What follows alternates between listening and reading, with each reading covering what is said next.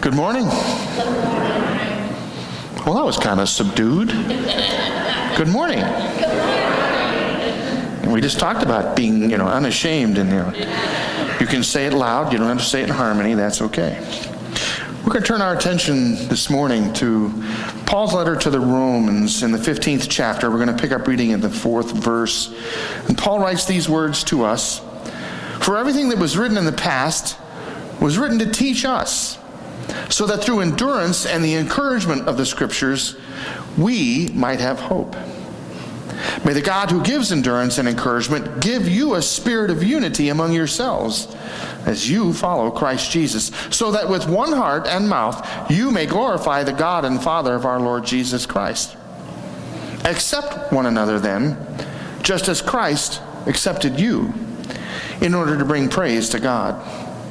For I tell you that Christ has become a servant of the Jews on behalf of God's truth, to confirm the promises made to the patriarchs, so that the Gentiles may glorify God for his mercy. As it is written, Therefore I will praise you among the Gentiles, I will sing hymns to your name. And again it says, Rejoice, O Gentiles, with his people. And again it says, Praise the Lord, all you Gentiles, and sing praises to him, all you peoples. And again Isaiah says, The root of Jesse will spring up, one who will arise to rule over the nations. The Gentiles will hope in him. May the God of hope fill you with all joy and peace as you trust in him, so that you may overflow with hope by the power of the Holy Spirit. This is the word of the Lord. Accept one another, even as Jesus Christ has accepted you. Now, acceptance is one of those buzzwords in our culture right now. It's one of those words that when you hear it, you immediately have some kind of response. Uh, you, you're, you're for it, you think it's gone too far, you think it hasn't gone far enough. It's like one of those words, tolerance. We want to have a tolerant society.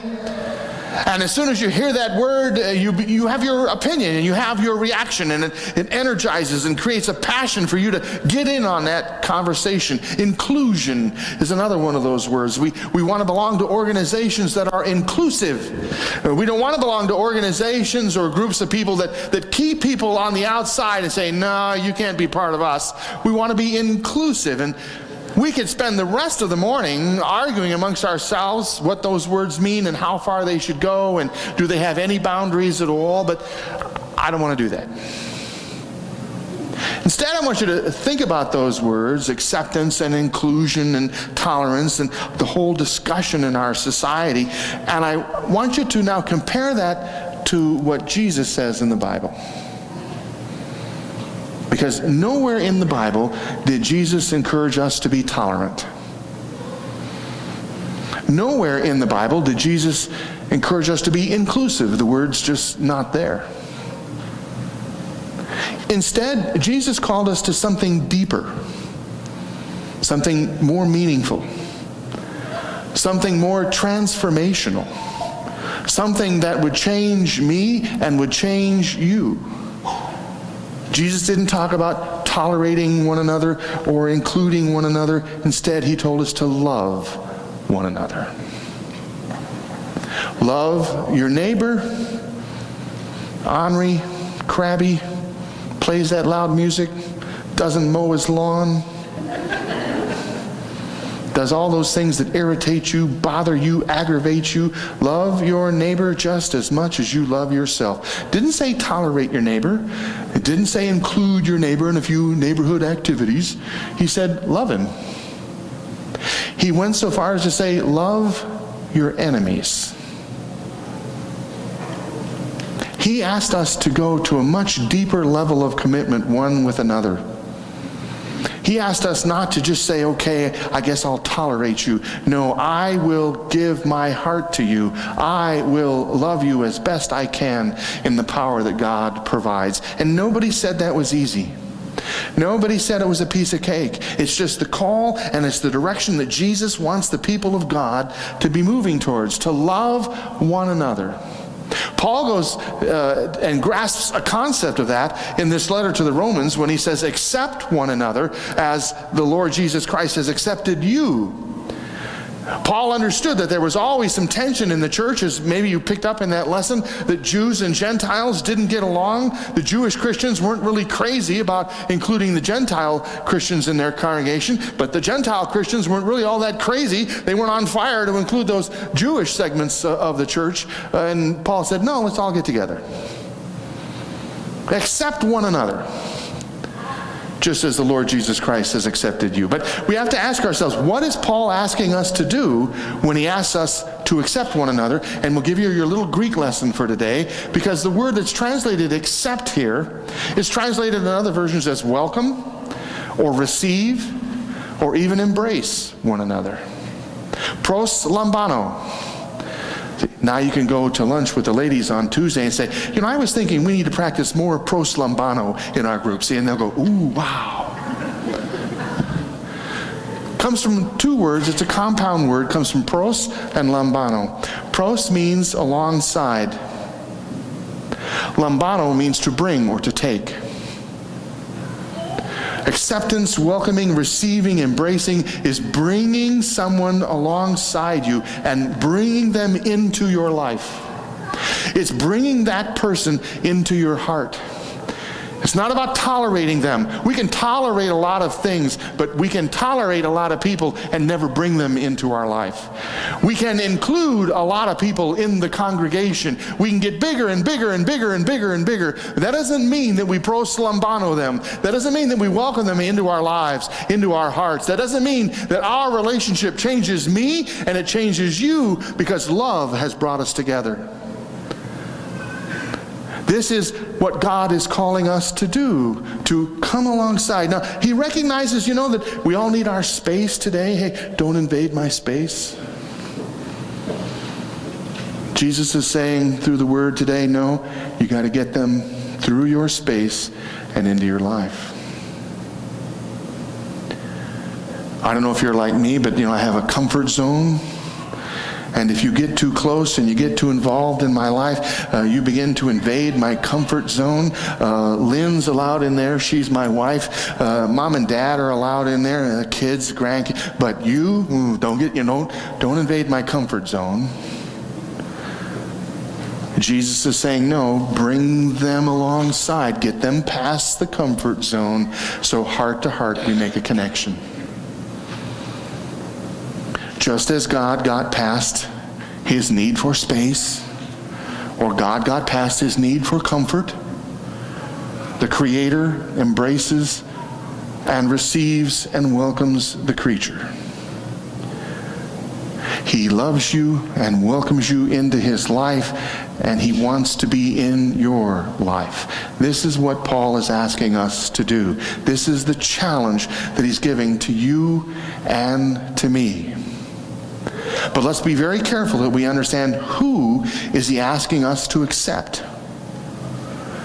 And if you're following me on the outline in your worship folder, then make a good and a happy note here. Put a little happy face by it. God is not asking you to accept sinners.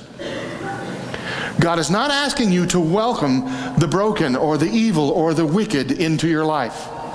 He's not asking you to embrace those that bring pain and misery and ugliness to people around them. He's not asking you to do that. You don't have to embrace sinners. He specifically says, accept, embrace, receive, welcome each other. The children of God. You can embrace the children of God they have the Spirit of God within them, the Spirit of God that helps them change their lives and, and turn away from these ugly things in life. You can embrace the children of God because they have the love of God in their life. You don't have to embrace the sinners or the broken or the wicked or the evil or the hurtful. That's not what he said. Accept each other. The ones that Christ has accepted. The believers, the Christians. The problem here is there are times you don't see me as a child of God. You don't see me as a spirit filled new creation in Christ. You see me as a sinner because you remember the sin in my life. And when you remember that moment of brokenness or pain or shame or disappointment between us, when that is what you remember and that's how you define me, I'm the person who did that. I'm the person, I'm the source of the pain in your life.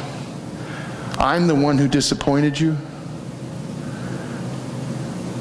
When I'm not a child of God, but I'm a sinner, then you have all the reasons and the justifications and the explanations and all the excuses you need to not embrace me.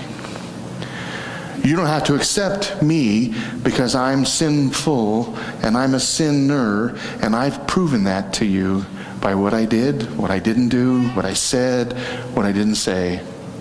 And so you can exclude me. Do that in your marriage, don't you? She does something, he does something, they don't do something, say the wrong thing, and there's a moment of sin and a moment of pain and a moment of brokenness. And you don't see them as a child of God. You don't see them through the eyes of Christ. You now see them through the pain. You see them through the shame and the guilt and the disappointment and the frustration and the anger that they brought into your life. And because you now see them and you are hanging on to their sin, even if it's just for a few minutes, now you don't have to embrace them. You don't have to welcome them into your life. You can exclude them. You can keep them at a distance because they're sinful. And you do that for minutes or hours, days, weeks, months. I'm going to guess there are some of us here that have siblings that we don't get along with, and we haven't for quite a while. Something happened while we were growing up. Something happened last year, whenever it was, and you're hanging on to it. That's how you see them, that's how you define them. You see them through the filter of that pain, through that brokenness, through that evil, through that wickedness, through whatever it is that they did or didn't do. And since that's who they are in your eyes, they're sinners and you don't have to embrace them, and you haven't for a while. Mom and dad, they weren't perfect. They did some wrong things, maybe some terribly wrong things. That's how you define them, and that's how you'll always see them.